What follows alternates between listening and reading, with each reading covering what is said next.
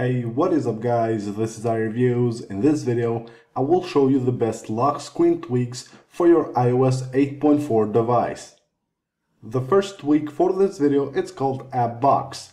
This tweak allows you to quickly launch apps from the lock screen. You can see right here, if I go to the lock screen of my device, I can slide here from the right side and I have all these icons. I can go ahead and launch any of these apps directly from here. Now let's go to the settings of this tweak. As you can see right here, we have an enable button to enable app box. Then you have apps. If you go here, you have all the apps that you add on app box. You can add them simply by dragging them here to the enabled section. Now if you go back you have auto unlock you can pick for which apps you want to enable auto unlock if you have a passcode on your device. Lower here you can choose how many apps you want to see per row. You can choose also how many apps you want to see per row on landscape mode. Then you can enable labels, badges and also rounded icons and you can set here the size and also the transparency of the apps. You can also enable blur icon view background which will blur the background of the icons on app box.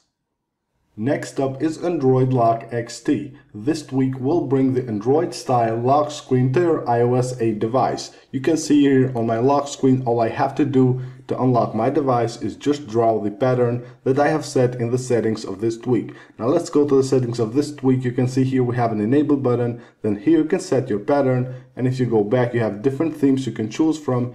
Here you have like five or six themes that you can choose. Then you have appearance right here. You can choose circle, dots, selection, line, arrows, and pretty much you can customize the way the lock screen pattern looks. Now let's go back here, have behavior. Here can enable wrong pattern error, require immediately after one minute. You can enable vibration. You can set maximum attempts right here and you can also enable bypass passcode and skip the slide to unlock text.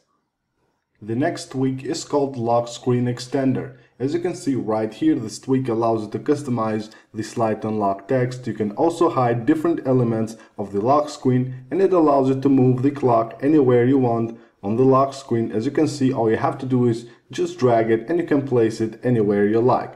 Now let's go to the settings of this tweak. You can see here we have an enable button. Then you can set the dim delay. You can hide the lock screen, clock and date. You can also hide the slide unlock text. You can hide the lock arrow and you can set here a custom slide unlock text. Just go here and enter any text you like.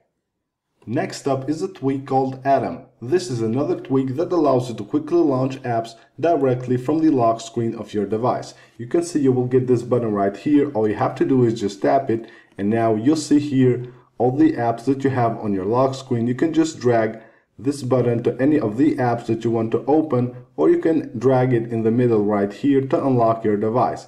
Now let's go to settings right here. You can see we have an enable button. Then you can enable default unlock gesture and also enable circular icons. Lower here have the icons that you have on your lock screen. To change one of the apps, all you have to do is just tap it and select any app you like. Next up is Lock Editor. This tweak allows you to customize pretty much anything on your lock screen. You can see right here if I go to the lock screen of my device, and when I slide to unlock you can see here this, the passcode buttons don't have rings around them. They look pretty cool. Now if we go to the settings of this tweak you can see we have an enable button right here. Then you have lock screen and passcode screen. If you go to lock screen you can customize your status bar time and date the slide to unlock also the grabbers. You can go here and hide any of the grabbers. Now if you go back you have then the passcode screen. You can disable the blur disable the button rings no button animation, hide the emergency button, or you can set here custom passcode text for when you enter the passcode and Touch ID requires passcode, you can enable it right here. And then just hit save, it will respring your device and all these changes will take effect. Next up is a tweak called Roman passcode. This is a pretty simple tweak, all it does is that it will replace the normal numbers on your passcode screen with Roman numbers. This tweak doesn't have any options to configure, all you have to do is install it.